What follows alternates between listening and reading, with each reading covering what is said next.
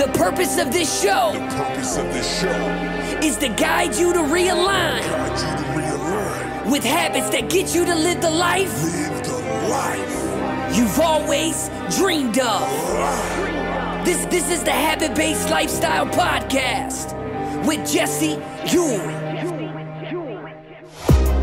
This is the habit based lifestyle where you can access your full potential right now. Finally break free from destructive habits. That dream life, if you want it, you can have it. This is where you transform your health, mind, business, and relationships. Or do nothing and keep your life the way it is. But if you're ready for change, you're in the right place. Cause This is where you're gonna learn how to live a habit based lifestyle. You, you, tuning in to the Habit Based Lifestyle Podcast with, with, with your host, Jesse Ewell. This, this, this is the Habit Based Lifestyle. Let's go. Have you ever been stuck? Like this feeling of not moving forward, being paralyzed. I literally just got off a coaching call with five women that I coach. And one of the things that came up was this idea of living in the past and how we stay living there, how we stay connected to that place, and how much we actually fight to stay living in the past. We fight this with our words. We fight this with our stories. We fight this with our emotions every single day.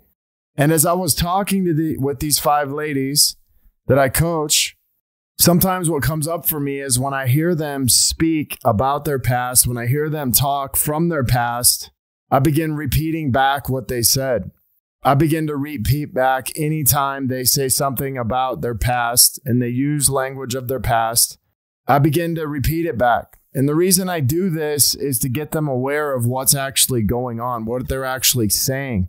You see, so many times in our life, we mindlessly use vocabulary, we use words from our past. Very rarely do people ever point this out to us. And so we unconsciously use these words and yet we have no idea what we're even saying. We con- we unconsciously choose words that actually keep us living in the past. You see, there's a lot of facts that come around by living in this past. There's a lot of facts that come around from being stuck. What do we know about being stuck? You see, you and I on a day to day basis are unconscious to so many things that not only we do, but we say and we act with other people. Think about on a day to day basis how often you get into a conversation with someone, how often you go into meetings, and we think about possibly what someone may have done to us before. Could be a coworker, something that a coworker had done with us before, something our spouse had done to us before, something our mom and dad our family, our kids had done to us before, and we bring this up stepping into a new conversation. And we stay stuck, stuck living in this past story. You see, as I was walking one of the ladies through an exercise, they were talking about how they felt this tightness, this like suffocating feeling in their chest. And as I began to coach them, I, I told her just to put her hand on her chest and to begin working on breathing through it. It was like she was suffocating. It was like she couldn't breathe and get a deep breath in.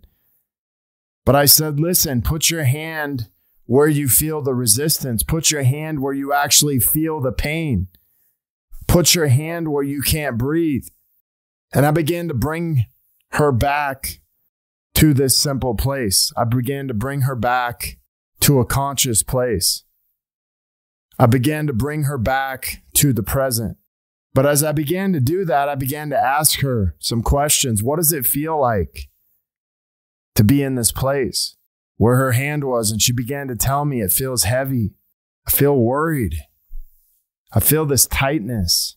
I feel scared, paralyzed. I feel tired.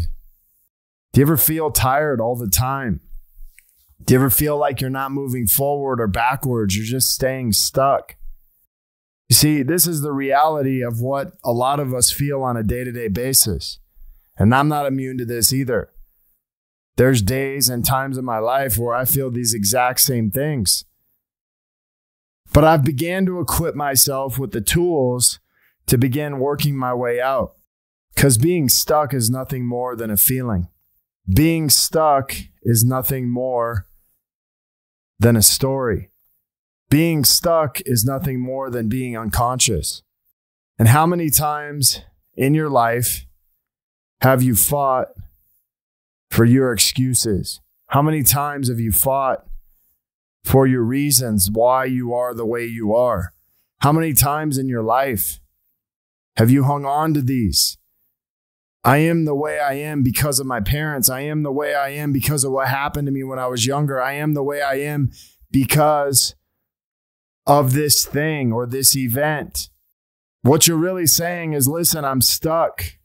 I'm stuck in this past. I'm stuck in this story. I'm stuck in this feeling. I'm stuck in this emotion.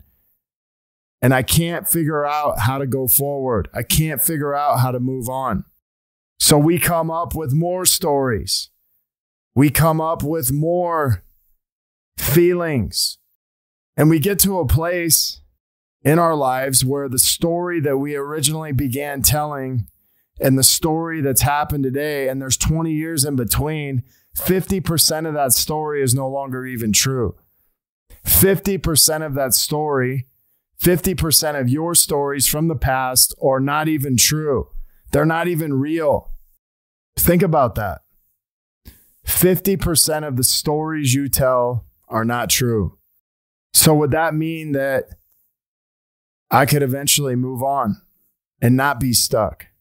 What would happen if I began to challenge my own stories, my own thoughts, my own feelings, and my own emotions? And I began to create new ones. New ones that actually got me what I want, but there's a step that we got to go to in between this. You see, if there's something different we want, we have to begin to ask ourselves some different question. Is being stuck in my story working or not working? Is being stuck in this behavior working or not working? Is being stuck in this excuse working on me moving forward in my life or not working? And as I began to coach one of my clients through this experience, she began to say, Man, I can feel the weight lifting off. I can actually feel like relief. It doesn't feel as heavy anymore. I'm not actually feeling where this is coming from. I began to feel lighter, like I could let go. Wouldn't it be powerful if we could do that every single day? Thought comes up, feeling comes up, story comes up, and we could begin to just work through it. But before I give you this one thing, I'm going to walk you through one simple step. And I heard this two years ago. And the mistake I made then was I didn't understand what it meant. And over the last six to eight months, I've really began to understand what this actually meant. And it's so small and it's so simple that you might actually miss this. If, yet, if you do this, it will be one of the most impactful things you can do in your life. So, tonight, as we shared, hey, what is the biggest thing that you've learned over the last four weeks? uh, I actually get to coach my wife, and one of the things that she said was this, which is what I'm about to share with you, is to re- just remind yourself of the present moment. Remind yourself of what day it is. Remind yourself of what year it is, and remind yourself of what time it is. You see, this begins to bring you back into the present moment, the conscious mind, the place that we can be where we're actually present. No thoughts about the past, no stories about the past, no feelings about the future. We're just here in the present moment. And as my wife shared this with me, I thought, man, how powerful is this? How powerful is it that my wife actually listened to what I said? Not only that, but she's actually using this in her own life, in our marriage, and our kids but it was one of the most powerful things. And if I would have kept that to myself and not shared it, she would have not been able to experience that. And I wanted to share that with you on this today. I'm going to say it one more time. It's about reminding yourself what year, what day, and what time it is.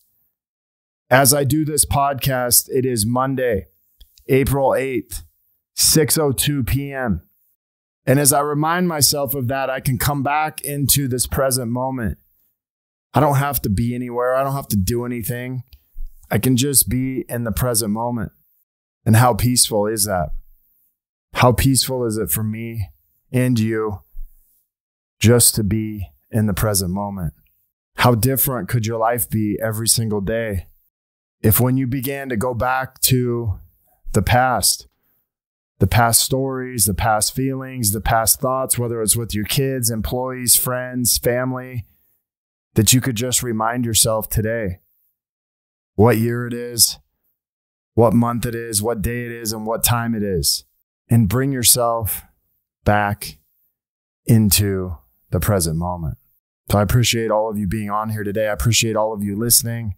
If you're looking to connect further with a group of like minded people, Join myself and so many others in the Habit Based Lifestyle Secrets group. This is where I'll be dropping daily habits to help you live to your full potential. Maybe you want to be one of our next case studies and begin living this habit based lifestyle. This is where we take you on a transformation journey into the 30 day habit boot camp. If you have any questions, comments, or concerns, please feel free to contact me, jesse at habitbasedlifestyle.com. I would love to help you. You can also check out my website, habitbasedlifestyle.com. Until next episode, have a great day. The purpose of this show, The purpose of this show is to guide you to realign guide you to realign, with habits that get you to live the life live the life. You've always dreamed of. This this is the Habit Based Lifestyle Podcast with Jesse